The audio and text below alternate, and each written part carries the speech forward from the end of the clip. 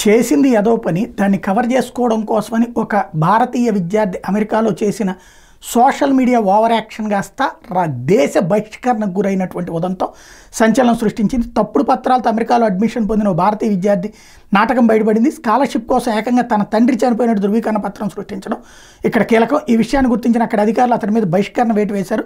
త్వరలోనే స్వదే స్వదేశానికి పంపించబోతున్నారు. భారత్కి చెందిన ఆర్యన్ ఆనంద్ రెండు వేల ఇరవై మూడు ఆగస్టులో పెన్సిల్వేనియాలోని యూనివర్సిటీ ఆఫ్ లేహీలో అడ్మిషన్ పొందాడు.